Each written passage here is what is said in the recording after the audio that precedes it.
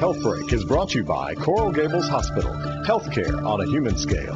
To help you lower your risk of a heart attack, a physician may want to know your numbers, numbers like your weight, blood pressure, and cholesterol levels. And thanks to a new study called the Jupiter Study, your C-reactive protein levels. Dr. Carlos Riveros explains. They uh, analyzed people that didn't have any cholesterol problem, any lipids problem but they had C-reactive protein elevated.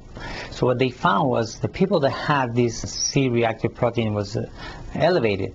Some of these people, they gave uh, treatment as if they were having high cholesterol. They have less incidence of coronary events. We can't control some heart attack risk factors like our age or family history, but we can do a lot to protect ourselves with simple lifestyle choices and medication help from our doctor.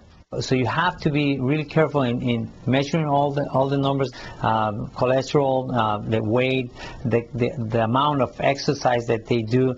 If you change that, you really can reduce their the risk.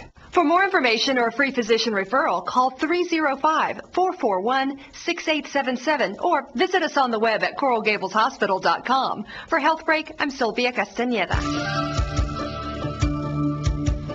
Health Break was brought to you by Coral Gables Hospital.